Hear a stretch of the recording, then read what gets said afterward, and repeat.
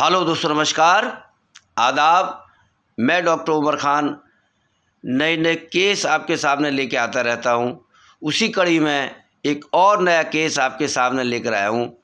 ये live demonstration किस तरीके से बीमारी को पहचाना जाए पहचाना जाए डायग्नोसिस किया जाए, किस तरीके से ट्रीटमेंट किया जाए, बिल्कुल लाइव आपको देखने मिलेगा, ये क्या बीमारी है, इसका कैसे ट्रीटमेंट किया गया है, ये सब देखने से पहले आप मेरे चैनल को सब्सक्राइब करें लाइक और शेयर करें।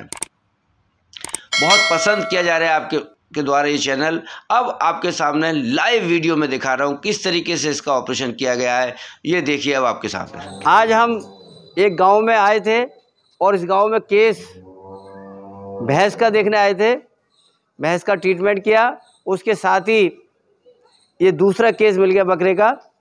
और ये बकरे के मैंने बहुत सारे वीडियो डाले हैं बकरों में और बछड़ों में या बछियों में ये कॉमन बीमारी होती है और ब्याने के सात से आठ दिन के अंदर होती है सात और आठ दिन के अंदर होगी। इसके इसकी कितनी इसकी कोई दिक्कत इसकी उम्र कितनी है? इसकी उम्र अभी आठ दिन है। ये आठ दिन है।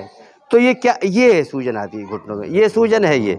ये सूजन है, ये सूजन है, ये सूजन है, ये सूजन। है चारों घुटनों में सूजन आ गई, ये दबा के देखिए। देखो बोला जी, दबा के ये, पानी भरा है? ये पानी भरा। अब आप लोग इसका पानी निकाल दोगे। द- पानी फिर बन जाएगा। इस बीमारी का नाम है नेवल इल। नेवल इल। मतलब जब टूंड काटा गया तो इसका टूंड के द्वारा ये बैक्टीरिया वायरस के अंदर घुस गया। और ये, अगर इसका इलाज ना हो तो हंड्रेड परसेंट इसकी मृत्यु निश्चित है। और अगर इसका इलाज हो जाता है तो हंड्रेड परसेंट ये बच जाते हैं। कल ये कहीं लेके गए थे, इसका पानी निकाल दिया, पानी फिर बन गया। पानी निकालोगे, पानी फिर बन जाएगा। तो ये नेवल इल का किस, केस है ये? ये ये सूजन है, ये सूजन है और ये सूजन है। ये ठीक हो जाते हैं। नेवल का ट्रीटमेंट हम क्या करते हैं? जेंटामाइसिन के साथ प्रेडिसोलोन यहाँ और यहाँ लगाते हैं। और इसको tablet prednisolone point five milligram और मॉक्सिकाइंट सीवी की टैबलेट सुबह शाम सात दिन तक दिलवाते हैं। आज दवा इसमें लगाएँगे अंदर और उसके सात, तीसरे दिन फिर हम इसका इंटर ऑरिकुलर बोलते हैं। इसी के अंदर दवा डालेंगे और ये हंड्रेड परसेंट ठीक हो जाएगा, कहीं कोई दिक्कत नहीं है। अब इसका भी ट्रीटमेंट करते हैं, आइए देखते हैं। अभी हम ले रहे हैं जेंटामाइसिन। जेंटामाइसिन के साथ हमने जेंटामाइसिन लिया। तीन एमएल इसमें। और एक एम एल डेक्सामीथासोन लेंगे हम।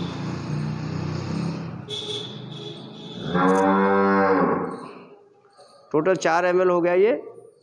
नई ड्रिल निकालो, पतली वाली। साइड में पड़ी होंगी। टोटल हम इसमें एक एक एम चारों में डाल देंगे। टोटल ये चार एमएल हो गया। एक एक एम हम डालेंगे इसमें। इस साइड से डालते हैं। ये रोको रोको इसे पकड़ो। ये, एक एम ये एक एम एल इसमें डाल दिया।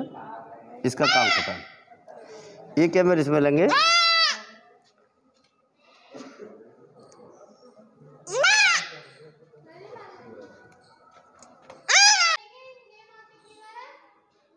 इसमें और डाल देते थोड़ा।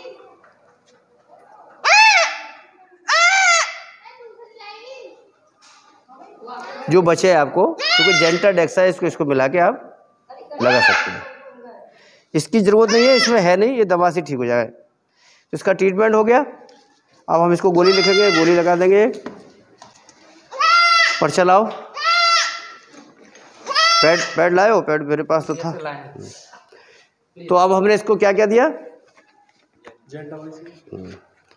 अब बस बंद कर दो इसको। इस केस को पूरी तरीके से हमने प्रैक्टिकली आपको दिखाया। कि इसका क्या ट्रीटमेंट होता है, किस तरीके से इसको पहचाना जाता है, इसके लिए अब हम टैबलेट लिखने जा रहे हैं। वो कौन सी टैबलेट है जो इसको देनी है? उस टैबलेट का नाम है, सबसे पहले एंटीबायोटिक टैबलेट मॉक्सीकाइंड के नाम से आती है, जिसमें अमोक्सिसिलिन रहता है। उसको 100 मिलीग्राम बीडी का इस्तेमाल हम करेंगे। दूसरी टैबलेट है tablet prednisolone 0.5 milligram BD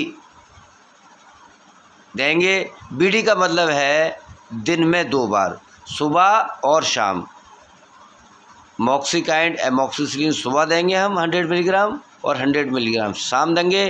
point five milligram सुबह देंगे पॉइंट फाइव मिलीग्राम शाम प्रिडिसोलन देंगे। बहुत से लोग पूछते हैं बीडी का मतलब क्या है? तो बीडी का मतलब है दिन में दो बार। ये सात दिन कंटिन्यू रखना है हमको। और हमें पहले दिन जो हमने इसमें जेंटा और प्रिडनीसोलोन की जगह हमने यहाँ डेक्सा का इस्तेमाल किया था और जेंटा का इस्तेमाल किया था। जेंटा और डेक्सा को हमने इसमें लोकली डाला था, जहाँ पर सूजन थी वहीं पर डाला था, जहाँ पर एप्सिस बन गया था वहीं पर डाला था।